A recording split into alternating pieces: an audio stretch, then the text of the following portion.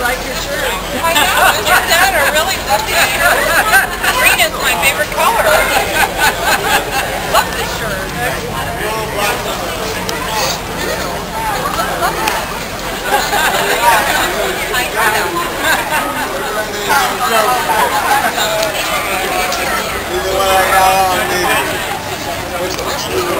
I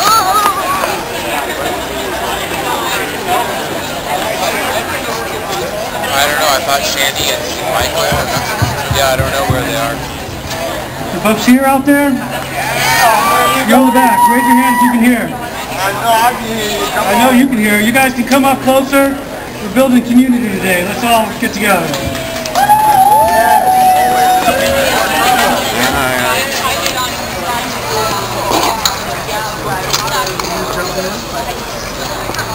All right, well, thanks for coming.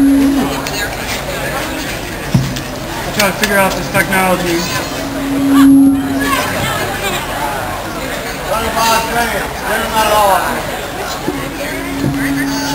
Got the mic too hot. Got the mic too hot. I mean,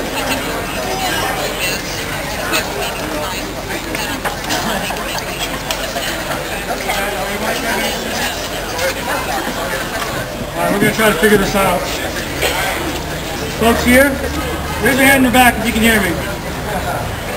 You can hear me. Yeah. Okay, well, it's uh, so amazing to be here. It's great to see all of you out here. Uh, who's, who's feeling fired up right now? Well, uh, my name is Ben Duncan. I'm uh, the board chair of Opal Environmental Justice Oregon, uh, and I really want to welcome you to the Rally for the Ride. Uh, today's a rally for the bus. Today's a symbolic day.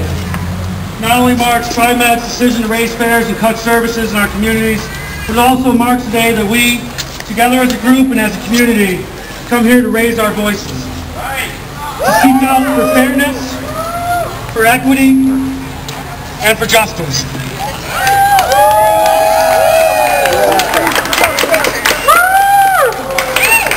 Opal's leading this effort because we see transportation as a right. What brings us to our jobs, to our medical services, to our family and friends, to our food and our cultural and religious spaces. It connects us to each other. Today is symbolic because today we are connecting to each other in a new way and beginning our journey together. Today we are connected by our desire to see that in Portland, seen throughout this nation, as a model of transportation and policy planning, that this model and reputation serves all Portlanders, particularly those that are dependent on this transportation system, and particularly those that are most disproportionately impacted by the service cuts and fare increases. Today, we will no longer accept a transportation system that is not fair and equitable. Today, we will not accept a transportation system that does not serve our most vulnerable community members. We will no longer support a system where decisions are made not by how well they will affect our community members, but how well they will serve as photo opportunities for our elected officials. At the same time, we will acknowledge and support those in TriMet on the board who continue to focus uh, service as a number one agency priority. Today, we're here to build a community of voices.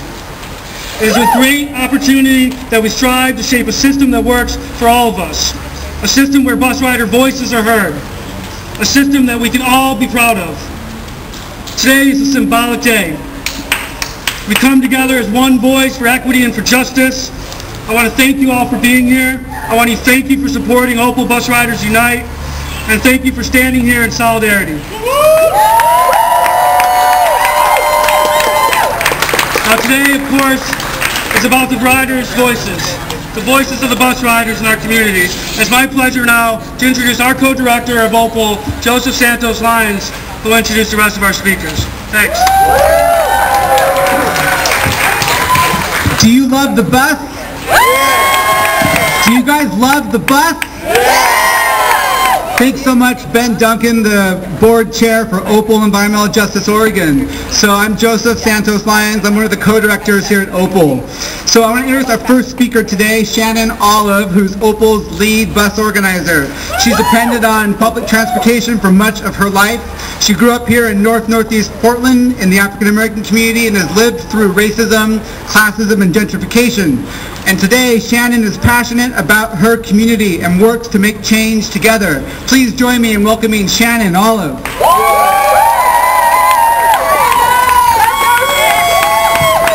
Good afternoon, Portland.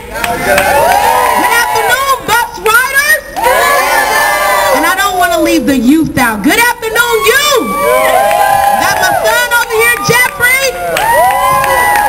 So my name is Shannon, and I am the lead bus organizer for OPAL, Organizing People, Activating Leaders.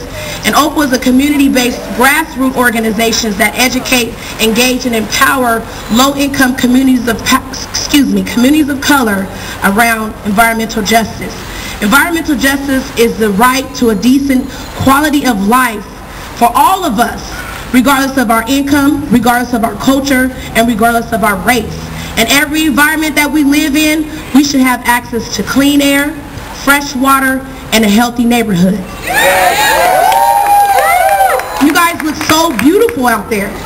You guys look really beautiful. It's an honor to be standing here in front of you on this day because this is the day we have all been waiting for. Look around you. Just take a minute to look around you. Do you know the next person to you? Next person that's standing next to you? Well, let's just take a moment to just, I want everybody to just go to two people and give them a hug and tell them thanks for being here.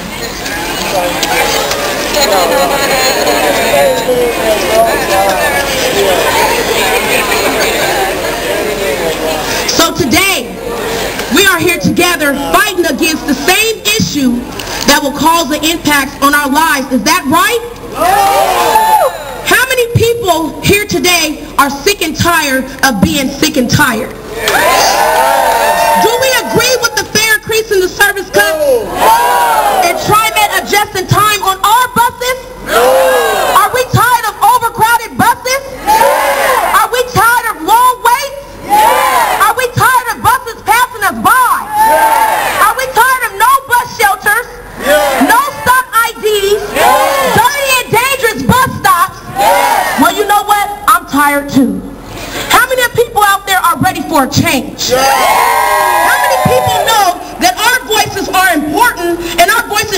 Heard on any issues that is impacting our lives and our children's lives today? Is this our community? Is this our community? Well, let's take our community back and do what we need to do. Enough is enough because we do need the bus. Enough is enough because we do need the bus. So there is power here today, you guys. There is energy here today. And guess what? There is love here today. And you know why I say there's love here? Because we are all here representing ourselves. We're representing our family. We're representing our children. And last but not least, we are representing our community, which we love. Is that right?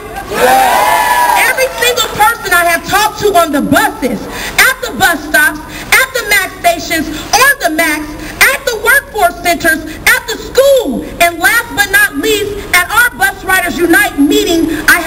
to them, the more power, the more people, the more power we have to make change. Yeah.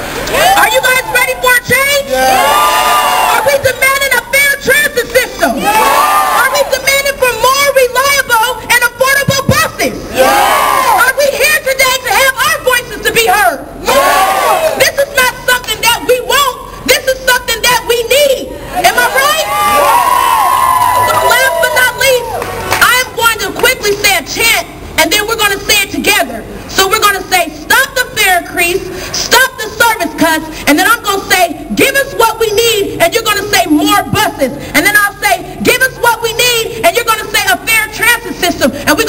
two times. Are you guys ready? Here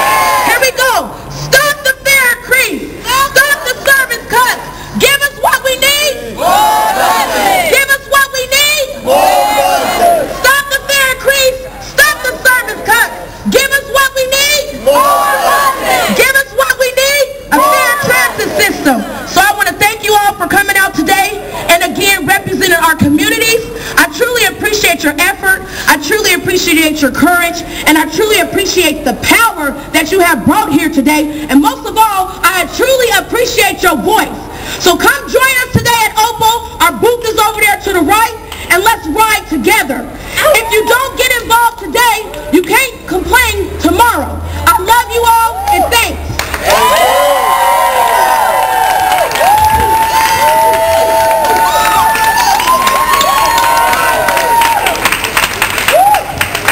Each of you has a stake in helping make and win affordable and reliable public transportation. Each of you has the opportunity to make a difference, as Shannon was saying, not only by being here today, by, but by also considering becoming a member of OPAL. So we do encourage you to check out our table or talk to one of our volunteers before you leave today. So our next speaker, Nancy, is an emerging bus rider leader with Opal's Bus Riders Unite. She's a home health care nurse who works the night shift and takes TriMet to homes across the region, from East Multnomah County to Clackamas County to Washington County. Nancy is active in her Gresham Neighborhood Association and recently spoke about the, the impact of the fare increase and service cuts on her life at Metro East Community Media. Please welcome Nancy Edmondson.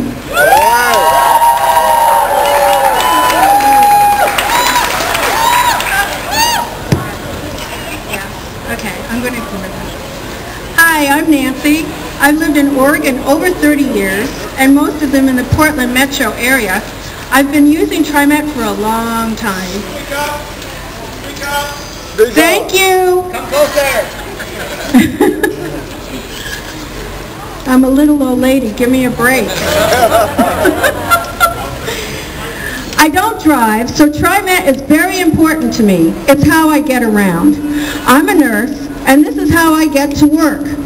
No matter the time of day or night, no matter the weather. During the ice snowstorms, I got to work when even the mail didn't get delivered.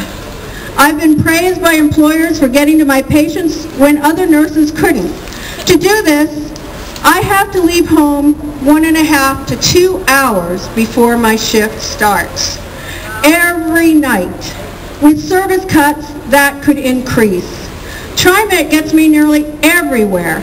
Work, doctors, grocery shopping, and sometimes play. I've had, I've even used it to get to school sometimes. The fare increases hurt people, but especially the service cuts. The people making these decisions don't use the system that they're doing this to. They aren't asking us, the people, who depend on it. Why is that? We'd supply them with common sense, and we won't charge you for it either. Opal Bus Riders Unite is the voice we need. We're all busy and can't get to the TriMet board meetings. Where are they? When? Opal gets to them and lets us know what they are doing and thinking. The problem is, the TriMet board is not talking to us, the people. They make decisions first and then are telling us what they are going to do. This is regardless of how it affects us. Opal gives us clout, organization. Come and join us and be heard!